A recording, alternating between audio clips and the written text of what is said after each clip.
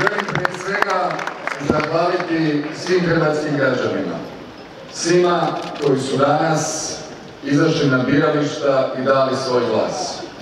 Bilo da su ga dali nama, koji smo dobili većinsko povjerenje, bilo da su ga dali nekim drugim strankama za koje su smatrali da ima najbolja rješenja za Hrvatsku.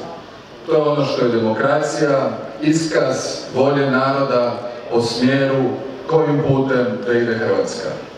Danas ovakav rezultat Hrvatske demokratske zajednice, a to je naša pobjeda, ne samo da je velik, nego obvezuje.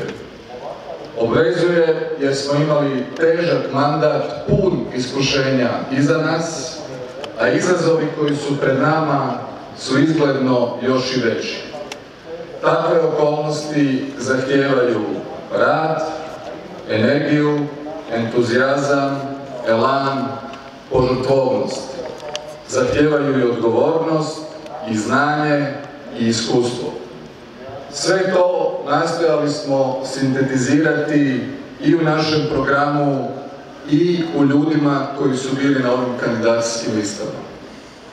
Ovakva potpora većine hrvatskih birača za nas je ogromna obveza.